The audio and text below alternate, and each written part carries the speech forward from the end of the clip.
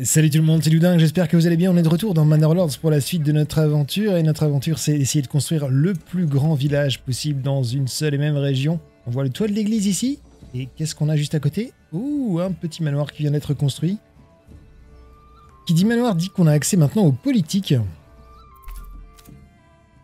Donc il n'y a que deux politiques en jeu actuellement. Il y a la politique terrain de chasse et la politique jeune strict. On va choisir terrain de chasse. La politique terrain de chasse permet à ce que les sites aux ressources abondantes permettent aux animaux sauvages de se reproduire deux fois plus rapidement. Par contre, le rendement des cultures y est réduit de 50%. C'est pas gênant. Et ce qui est super, c'est qu'on a la condition, on a effectivement ici du gibier ressources abondantes. Ils vont se reproduire deux fois plus vite et ça va nous permettre d'avoir encore plus de viande et plus de peau plus rapidement. Donc nous n'avons actuellement que 173 familles dans notre ville moyenne de Imenrut, Seulement 56 hébergements. On va essayer d'augmenter tout ça aujourd'hui très fort. Et pour ça, il va falloir qu'on augmente notre capacité à couper du bois, à avoir des rondins et plein de bœufs pour apporter ces rondins sur nos sites de construction. À l'heure actuelle, on n'a qu'un seul camp de bûcherons. Ce sont les camps de bûcherons qui stockent les rondins de bois. Et on peut en stocker que 28. Donc on va faire un deuxième camp de bûcherons, voire un troisième camp de bûcherons. L'idée, je pense, c'est de les mettre euh, parce qu'on va devoir raser beaucoup de bois pour construire un maximum de maisons. Hein. Le but, c'est de faire le plus grand village possible. On va garder la zone qui est derrière le manoir, ici, dans le coin de la carte, en bas de l'écran, là, ici. Ce sera, ce sera, notre zone de bois permanente, et je pense qu'on va laisser les bûcherons travailler dans cette zone. Tout le reste, on se permettra de le raser éventuellement, à l'exception évidemment de la zone des animaux sauvages. Donc on va faire une route supplémentaire qui part d'ici,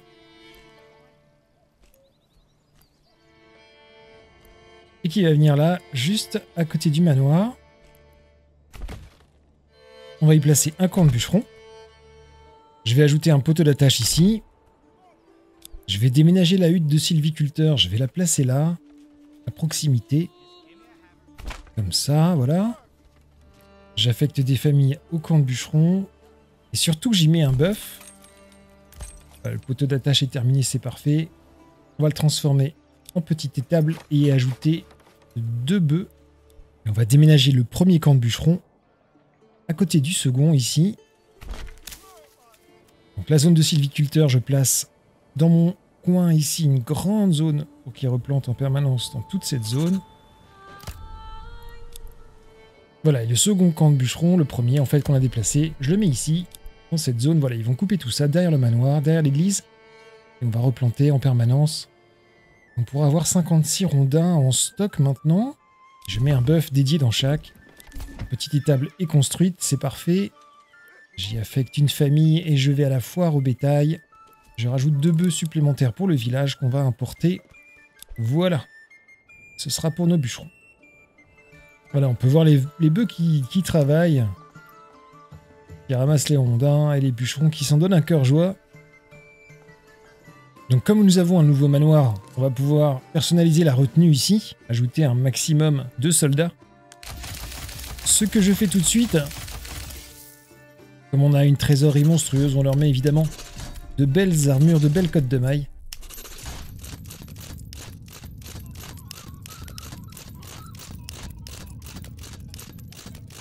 Et voilà, 24 soldats de la retenue en côte de maille, ça nous fera une très bonne défense si jamais des brigands veulent s'en prendre à notre nouvelle région. Allez, on va continuer à s'étendre. Je fais une petite route ici. On va construire plein de sensibles. On va faire également une petite zone pour un marché là.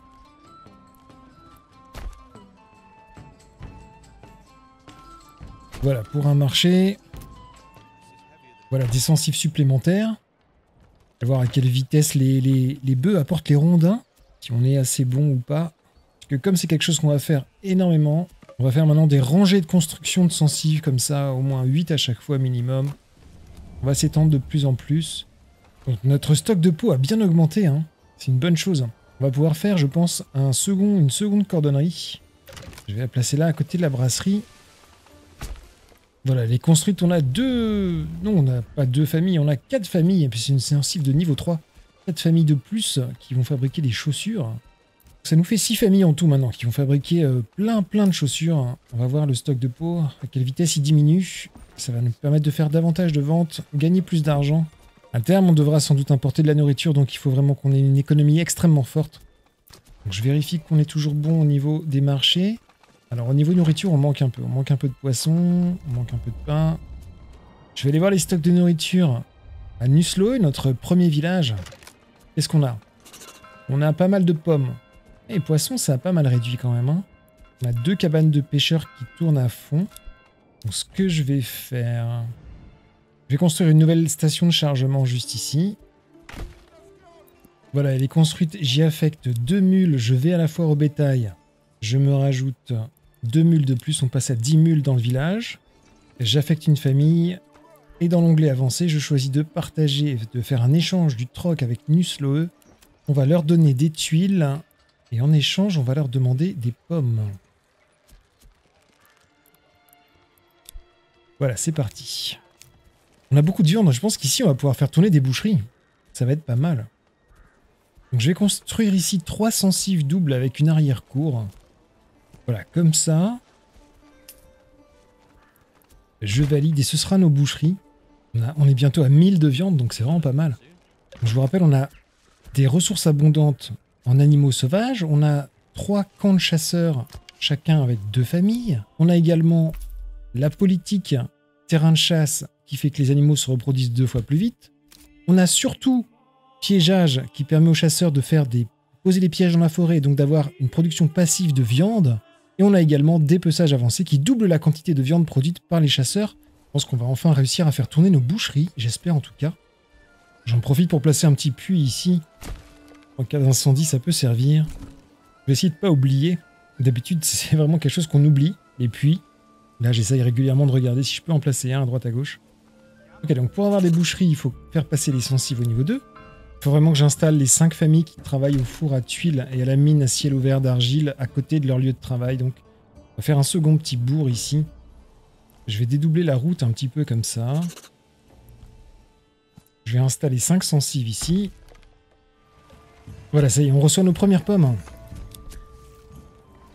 Donc toutes les nouvelles familles qui s'installent dans les sensives qui sont à côté du four à tuiles, je les réaffecte au four à tuiles. Ils vont donc désormais travailler juste à côté de chez eux, c'est mieux.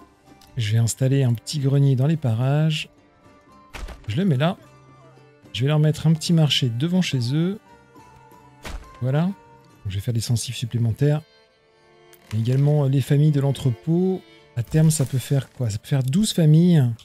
je fasse 12 logements. Je vais en faire 6. Je pense qu'on peut faire un deuxième four à tuiles également. Une petite route qui passe derrière. Je construis un deuxième four à tuiles. Oh, une unité ennemie a été repérée. Casse donc? Des brigands avec des torches. Où vont-ils? Ils courent vite.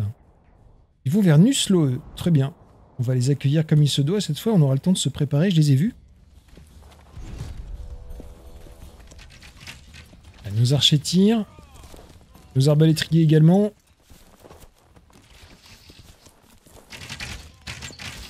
J'adore le son. Le tir d'arbalète est génial.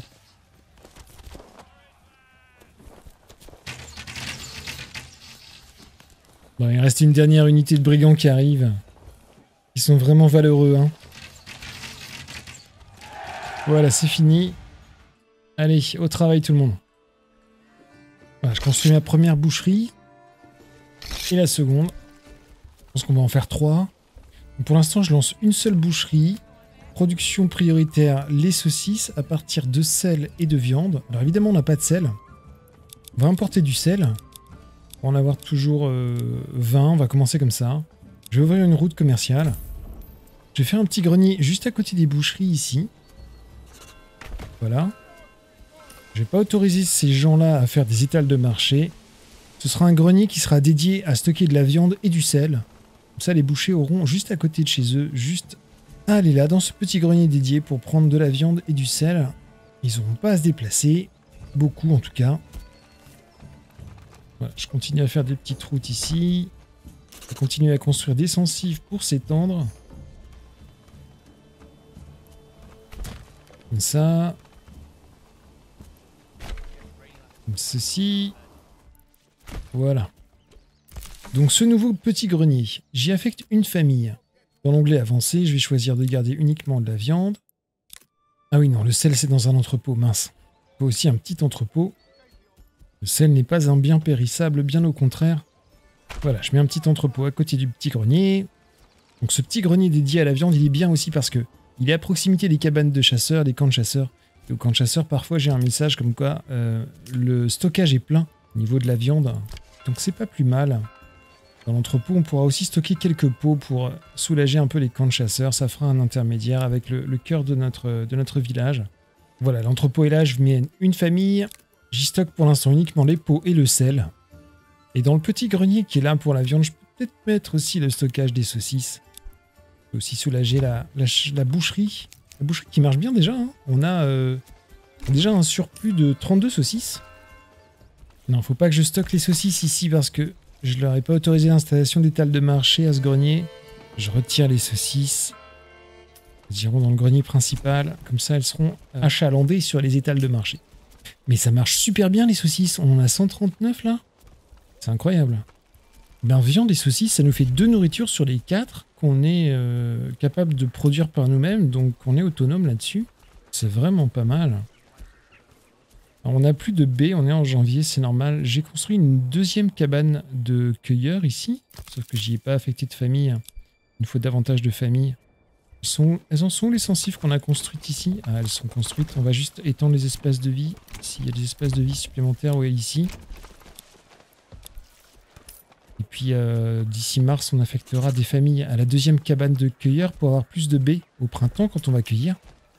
Au marché, on est comment? 94% de combustible, 90% de nourriture. Et les saucisses commencent à être distribuées au, marché? 95, ça fait augmenter la variété de nourriture, c'est pas mal. Les vêtements, 100%, on est large puisqu'on a énormément de cuir et de chaussures et ça suffit amplement. Ah, on manque un petit peu de combustible.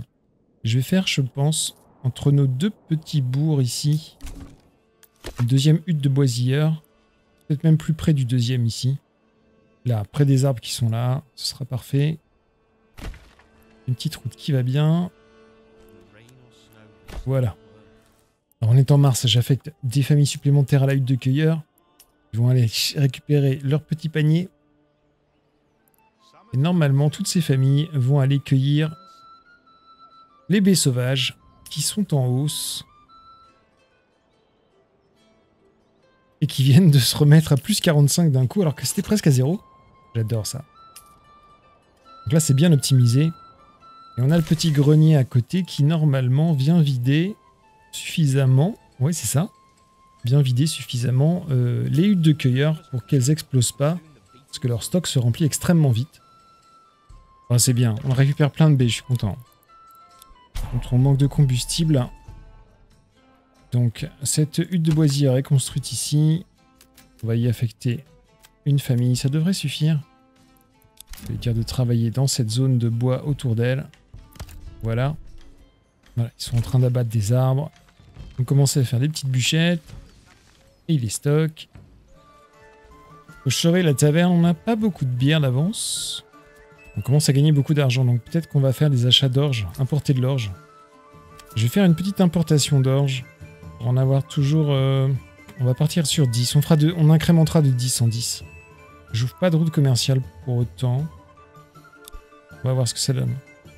Oh, on a plus de viande. Alors attention. Mais non, mais c'est Nusloe. Mince. Alors, il faut que je fasse attention. Des fois, ça change l'affichage. Non, on a 883 de viande. Donc ça a un petit peu baissé. Et on a pas mal de saucisses qui sont très très bien consommées. Au niveau du sel, on est comment? On est juste on va racheter un peu plus de sel. J'avais démarré petit, mais on va, on va augmenter. J'avais dit 20, on va passer à 40. La boucherie tourne à plein régime ici, j'imagine.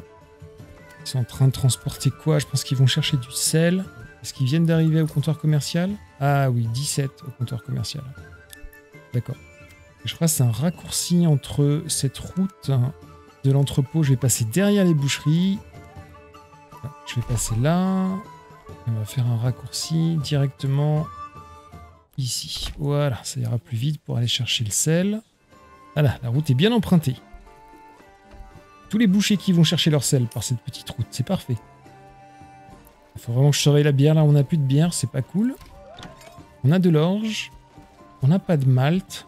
Alors, j'ai oublié. Où est ma malterie? J'ai un village de 309 habitants, je suis déjà perdu. Ah, bah elle est là, juste à côté du grenier. Très bien. Alors, que font-ils à la malterie? Transporte. Transporte de l'orge. Très bien. Et puis une famille, hein, je peux mettre une deuxième famille. Il faut qu'on transforme plus vite l'orge en malt pour que les brasseries puissent fonctionner. Oh, ils vont loin chercher l'orge, c'est bizarre, attendez. Ah oui, tout notre orge est dans ce grenier, c'est pas cool. Donc, correction, on ne stocke pas le malt. Ici, on ne stocke surtout pas l'orge, ici. Voilà, c'est un petit réglage. Ça devrait aller mieux. J'ai ce petit grenier juste à côté qui peut stocker l'orge, ce serait parfait pour eux en fait. Donc voilà, je corrige ça. Je peux autoriser le stockage du malt aussi. Bon bah super, hein. on a un très bon stock de viande, 890, 135 saucisses. Euh, je parle en surplus, hein. ça veut dire que je compte pas ce qui est déjà sur les étals de marché. Donc quasiment 900 viandes, quasiment 140 saucisses. Il reste 50 baies, on est en septembre, donc on finira pas l'année avec nos baies, mais en tout cas on aura tenu jusque peut-être octobre ou novembre. On a toujours du pain grâce à l'échange avec la région d'à côté, et ainsi que des pommes, ainsi que du poisson. On est vraiment pas mal. Ça donne quoi en termes de pourcentage? On est à 97% de variété de nourriture sur les étals de marché, c'est bien? Alors combustible, j'ai pas tout à fait réglé mon petit problème de combustible. On va rajouter une famille supplémentaire ici. Faut qu'on coupe davantage de petites bûchettes. On va surveiller le commerce parce que l'achat du sel évidemment nous coûte cher. Sur les 30 derniers jours, on a acheté pour 220 de sel et on a fait... Euh, on est en moins-value là, on perd un petit peu d'argent. Il faut qu'on vende un peu plus de tuiles et un peu plus de chaussures également. Ça vaudrait peut-être le coup de faire un deuxième compteur commercial, mais pour ça il va nous falloir plus de familles. Donc on va, on va continuer à s'étendre. Je vais faire des sensibles supplémentaires ici. On échange deux choses, des tuiles et des chaussures. Et en échange, on récupère un petit peu de nourriture. On récupère du pain, des pommes et du poisson. On fait un complément. On est à 99% de variété de nourriture. Je suis extrêmement content de l'équilibre actuel qu'on a avec une population de plus de 300 habitants. On est en train de remonter sur le combustible, donc tout va bien. Je peux continuer à m'étendre, à faire des nouvelles sensives. Mais alors franchement, animaux sauvages, ressources abondantes, c'est l'une des meilleures ressources du jeu. Hein. C'est incroyable. C'est incroyable à partir du moment où on va chercher le, dépeçage avancé, le, piégeage et donc le dépeçage avancé. Ça double la quantité de produits de viande par les chasseurs et les bouchers. Alors les bouchers, c'est uniquement si on a des moutons on va produire de la viande. En tout cas, ça double la quantité de viande produite par les chasseurs. Plus les pièges, production passive de viande, c'est énorme. Là, je suis sûr si je rajoute encore un camp de chasseurs, je vais avoir encore plus de viande. Je surveille, mais pour l'instant, ça baisse pas. Hein. C'est même en train de réaugmenter là. On est en train de se rapprocher des 1000 encore. Je vais finir par aller voir le prix de vente de la saucisse au comptoir commercial et on va finir par exporter de la saucisse. On sera connu euh, dans tout le pays pour être la ville de la saucisse. Combien ça se vend une saucisse? Ah, je ne sais pas. Je suis obligé d'ouvrir la route commerciale pour connaître le prix de vente de la saucisse à l'export. Mince. Je suis curieux de savoir quand même. La viande se vend 2 et la saucisse, vous pensez que ça se vend combien? Ça se vend cher quand même. Le pain se vend 4, c'est ce qu'il y a de plus cher. Ah, je le fais pour voir. 120. La saucisse se vend 6. Eh oui, c'est une nourriture transformée, elle est, complexe à faire, elle se vend 6, c'est ce, qui, ce qui se vend le plus cher. Je vais en vendre un peu, je vais en exporter un petit peu. Un tout petit peu, hein. je vais dire de... Là on en a 130, je vais dire de garder un stock de 100. Voilà. Je vais mettre en fonctionnement la seconde boucherie. Ils vont aussi faire des saucisses. Une bande de pillards, mince. Et de Goldolf. Goldolf. Très bien, on va sortir euh, ce qu'on a, tout ce qu'on a là-bas. On a 24 halbardiers, des soldats de la retenue. C'est tout d'ailleurs. On va les positionner là, derrière les cabanes de chasseurs. Ah, mais ils vont peut-être incendier mes cabanes de chasseurs. Faut que je fasse attention à ça. J'ai pas pensé. Non, c'est bon, il charge.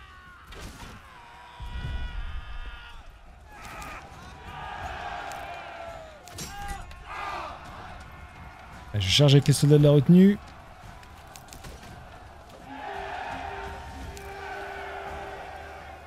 Je crois que c'est bon. Il n'y en a plus. on a perdu quelques halbardiers, c'est pas bien grave. On va ramasser tous ces corps maintenant. La boucherie nécessite du combustible. Je vais peut-être stocker également dans l'entrepôt qui est juste à côté euh, un petit peu de combustible. Voilà, je, coche la case. Notre production de viande ne baisse pas malgré qu'on fasse de plus en plus de saucisses. C'est incroyable. Voilà, et la vente de saucisses nous permet de compenser l'achat de sel. Est-ce que je fais pas une bêtise? J'achète le sel très cher. Je vends les saucisses pas cher. Donc, ça sert à rien ce que je fais. Je vais réduire l'achat de sel. On n'a pas besoin de produire autant. Je vais arrêter d'exporter les saucisses pour l'instant. Les saucisses, ce sera uniquement pour notre consommation personnelle. Et l'excédent de viande, je ne sais pas quoi en faire. En fait, en fait, je ne sais pas quoi en faire. On n'arrive pas à la consommer, on en produit trop. Ben, je vais la vendre. Ça paiera l'achat du sel. Parce que c'est une ressource qui est gratuite en fait, elle se régénère. Donc euh, autant, autant la vendre, j'en ai tellement. On va exporter la viande. Ouvrir une petite route commerciale. Ça se vend pas cher, mais c'est pas grave. On va vendre la moitié de notre stock. Je vais en garder 500, c'est déjà énorme. On va continuer à produire quelques saucisses pour notre consommation personnelle. Et puis ça ira bien et on va continuer à s'étendre. Il y a bientôt plus d'argile au gisement d'argile, c'est important qu'on passe au niveau de ville supérieur. Parce que notre économie est basée sur les tuiles également, pas uniquement sur les chaussures. La hutte de boisière, il n'y a plus beaucoup de bois autour, je vais la déménager. Je vais la mettre ici. Comme on s'étend, euh, je préfère l'éloigner un petit peu. On a retrouvé un bon stock de combustible, c'est pas mal. J'aime bien, il y a un arbre qui est resté sur cette sensive ici, c'est très joli. On va aller voir, regardez. Il y a un arbre dans dans l'arrière-cour de la sensive. Regardez, il est là, c'est chouette.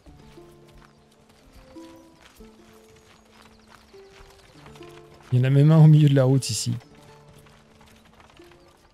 Cette sensive niveau 3 ici devrait nous faire voilà, passer au niveau de colonie supérieure. On est maintenant une grande ville, c'est le niveau de colonie maximum. On a un dernier point de développement et j'en ai absolument besoin pour acheter extraction souterraine. Voilà, c'est fait. Ce qui va nous permettre à la mine d'argile, qui est bientôt épuisée, de la transformer en mine à ciel ouvert. Et donc d'avoir désormais des ressources perpétuelles. Voilà, j'améliore. La production de tuiles a légèrement augmenté, mais elle n'est pas, pas maximale. Je vais rajouter quelques familles de plus, deux de plus essayer d'augmenter un peu plus la production de tuiles, de manière à continuer à en vendre davantage. On a une richesse régionale qui est assez stable, autour de 7-8 000, si je regarde le commerce. Sur les 30 derniers jours, on est à moins 16, donc on est assez stable. On vend des chaussures, on vend pas assez de tuiles, donc il faut que je produise plus de tuiles pour qu'on vende plus de tuiles. L'achat de sel, évidemment, nous coûte. Mais la vente de la viande commence à nous apporter un petit quelque chose. On pourrait vendre d'ailleurs beaucoup plus de viande. Faut que je fasse un deuxième comptoir commercial. Je vais le faire tout de suite et attention, le baron est en train de faire une revendication. je vais faire un second comptoir commercial à côté du premier. On peut le mettre vraiment à la frontière, regardez, on peut le mettre vraiment là, quoi. Je vais le mettre là pour voir. Alors, il veut prendre Nuslo, mais Nuslo, on est vraiment bien installé là-bas en plus. Ok, on va dire de... Bon, on va prendre les, mercenaires. On va pas s'embêter. Je signe le contrat. Je dis que je règle ça sur le champ de bataille. La guerre est déclarée. Le champ de bataille sera ici au centre de la carte. On va prendre toutes nos troupes, on va les rassembler au centre de la carte. Avec les mercenaires également. Mais il arrive par Nusloe. Vous pensez que je peux l'intercepter dans ces cas-là? On va tester. On va s'installer juste ici. On va voir si on peut l'intercepter avant le champ de bataille. Les deux adversaires doivent mener leur armée jusqu'au champ de bataille. Si les troupes du seigneur visées par le défi n'arrivent pas dans la zone avant la fin du temps imparti, la victoire reviendra à l'attaquant à l'initiative de l'affrontement. Si mes troupes n'arrivent pas avant la fin du temps imparti, la victoire reviendra à l'attaquant. Ben, en fait, je peux le décimer et aller ensuite sur le champ de bataille et j'aurais gagné. Je pense que ça marche comme ça. J'ai quand même un, un, petit peu peur parce que si ça foire, c'est quand même une région où j'ai un gros village. quoi. Mais j'ai envie de tester, donc on va le faire. Ah, il coupe à travers. Bon, il faut que je me décale un petit peu. À moins que... Non, non, c'est bon, il avance dans notre direction, là. Ok, on aperçoit de l'infanterie légère dans les bois. On va bientôt pouvoir tirer dessus. Ça y est, les premiers tirs. On a un bonus parce qu'on est à deux missiles en plus. On se fait aussi tirer dessus, là, attention. Vigilance projectile pour nos halbardiers. Halbardier, je vais faire passer devant pour intercepter.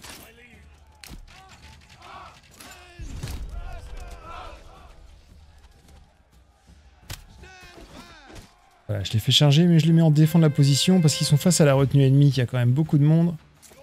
On va placer quelques lanciers sur le côté, sur le flanc gauche. La retenue ici aussi, nos lanciers de l'autre côté, on va les prendre en sandwich. Je charge avec les soldats de la retenue.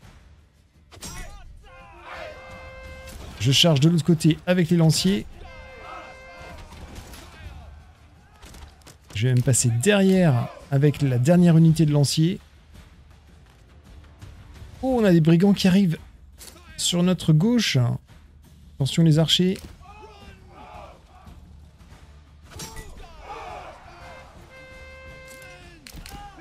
Archers qui sont chargés, c'est pas cool. Et comme j'ai deux unités, je peux leur tirer dessus. Mes troupes de corps à corps, je vais les mettre en mode en avant, histoire de terminer l'infanterie ennemie qui est là. Voilà, déroute des brigands, c'est pas mal. Déroute de la dernière infanterie ennemie. Ok, il reste les archers cachés dans les bois. Ils tirent dessus comme des lâches. Alors ils ont bien raison. Je vais reculer mes troupes. On va essayer de les attirer vers nous. Et faire sortir du bois. C'est vraiment le cas de le dire. Regardez la boucherie ici. C'est quelque chose. Hein.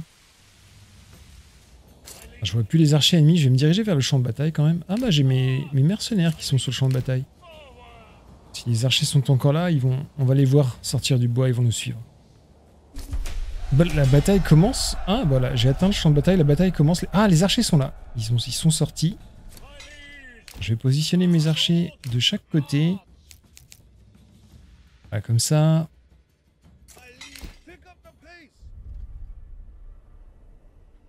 Essayer de leur tirer dessus avec tout le monde. C'est pas mal. J'ai 4 unités à distance qui tirent.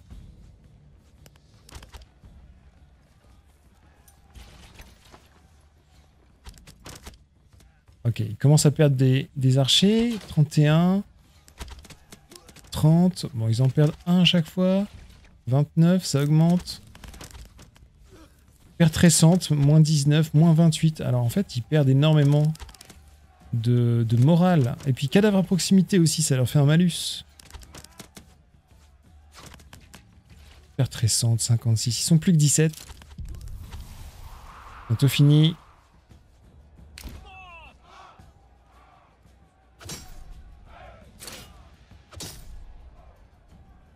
Allez, c'est fini. Génial. Normalement, voilà, c'est la victoire. C'est parfait. La paix a été déclarée. On a sauvé Nusloe. J'avoue que le baron, c'est le cadet de mes soucis? Par contre, j'ai plus assez d'orge. Mais Nuslo, la région d'à côté qui fournit l'orge, elle est très riche. Elle a 14 000 de richesse régionale. Donc, je vais lui faire acheter un peu d'orge. C'était déjà le cas d'ailleurs. Je vais augmenter cette quantité. Je vais la doubler. Je vais ouvrir une route commerciale pour que ça fonctionne bien. Parce que je fais ça parce qu'on échange de l'orge avec, euh, des mules. Donc si Nuslo a de l'orge tout au long de l'année, mon échange sera constant. Parce que là, il n'est pas constant. Parce que Nusloe euh, épuise son orge avant d'en refaire au mois de septembre. Parce qu'ici, ma, balance commerciale est un peu juste. L'achat du sel qui me coûte un peu. Mais la production de saucisses est importante. C'est l'une de nos quatre sources de base et on la produit sur place. Donc j'y tiens. Donc je tiens à acheter du sel. Évidemment, vous allez me dire, mais pourquoi tu fais pas des légumes? Ben oui, mais les légumes, ça prend un petit peu de place.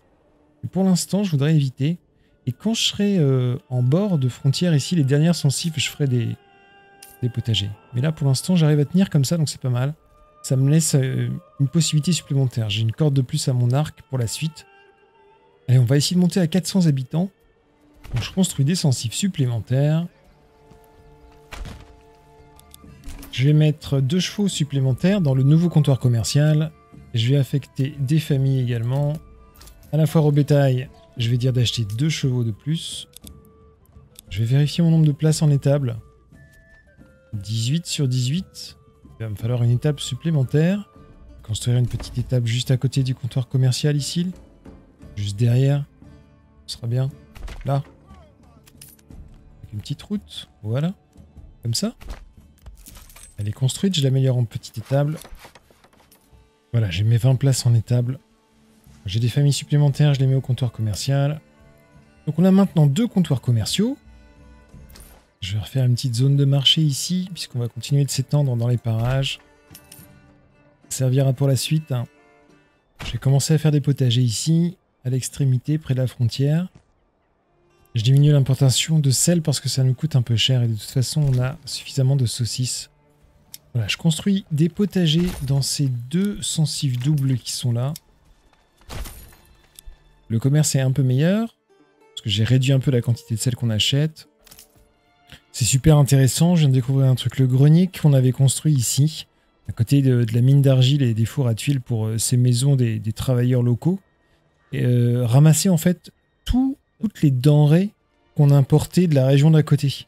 Parce que c'était le grenier le plus proche. Comme si en fait nos traders qui font l'échange avec la région d'à côté s'arrêtent au premier grenier pour euh, décharger en fait euh, ce qu'ils ont récupéré de leur échange.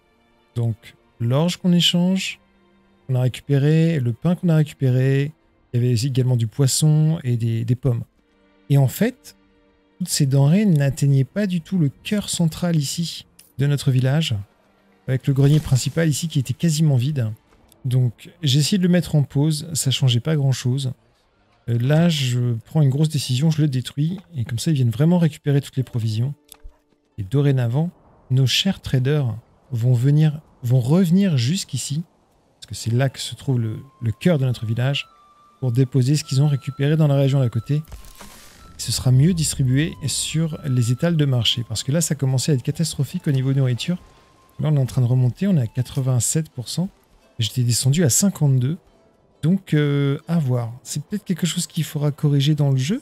Si je trouve le temps, j'enverrai un message au développeur. Est-ce que c'est bien normal que les... Euh, comment ça s'appelle? Les gars de la station de chargement avec leurs mules viennent déposer dans la région, au grenier le plus proche, ce qu'ils ont récupéré du troc. Parce que quand on s'étend comme ça d'un bout à l'autre de la région, c'est assez problématique, vous voyez donc j'ai supprimé le grenier qui était là. On est en train de récupérer les dernières provisions qui restent. Il reste un petit peu d'orge. Parce que ça impacté, ça commençait à impacter très négativement le, village. Alors par contre, ce qui est bien, c'est qu'au niveau richesse régionale, avec le second comptoir commercial, on est en train vraiment de, de se faire beaucoup plus d'argent qu'auparavant. Donc on est positif, on gagne un petit peu tous les mois. On est maintenant à 10 000 de richesse régionale. Je pense que je vais augmenter les achats d'orge parce qu'on est un peu limite sur la bière. Je vais passer à 15 au lieu de 10 et je vais ouvrir une route commerciale ça aille plus vite. Parce que la bière aussitôt produite, elle est emmenée à la taverne, elle est consommée, on est un petit peu juste. Voilà, ça ils ont tout ramassé, il reste juste quelques rondins de bois qui étaient, euh, qui étaient la construction de l'ancien grenier. On commence à avoir nos premiers légumes, c'est pas mal. Alors pour se faire encore un peu plus d'argent, on peut fabriquer un atelier de menuiserie. C'est ce que je vais faire dans cette sensive qui est là, je vais la passer niveau 2 d'abord. Alors je cherche pas à me faire de l'argent pour me faire de l'argent, mais je cherche à gagner plus d'argent parce que on va à terme devoir acheter, acheter de la nourriture forcément. On n'arrivera pas à être autonome vu qu'on va faire le plus grand village possible dans une seule région de Manor Donc, avant de faire de futures dépenses, je prévois l'avenir. Donc, cette sensive niveau 2, on va y construire un atelier menuisier. La variété de nourriture est remontée à 95% maintenant, depuis que j'ai supprimé le fameux grenier qui posait problème. Tout est revenu et centralisé ici maintenant. 98%. Oh, c'est beau. Donc voilà, on a l'atelier de menuisier. On va pas produire des petits boucliers, pas du tout. On va produire, on va produire des pièces en bois. Pour deux planches, on fait une pièce en bois. Ah, pour une planche, on fait un petit bouclier. Alors attendez, il faut que j'examine les prix. Parce que je vais pas pouvoir les examiner. Pièce en bois, je connais le prix. Ce sera vendu 5 pièces la pièce en bois.